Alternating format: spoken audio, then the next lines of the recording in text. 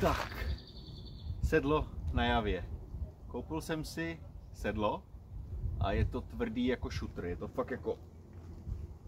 Je to pak prostě tvrdý jako šutr. Moje blbost, šetřil jsem samozřejmě, že jo.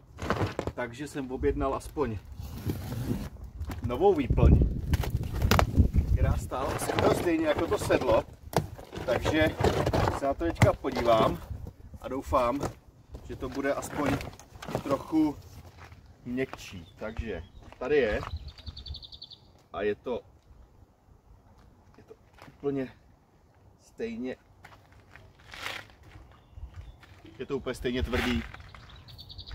Takže výplň půjde zpátky a holce budu muset smířit s tím, že to sedlo je tvrdý, no. Protože tohle je úplně nemlich to stejný, prostě tvrdý jako beton.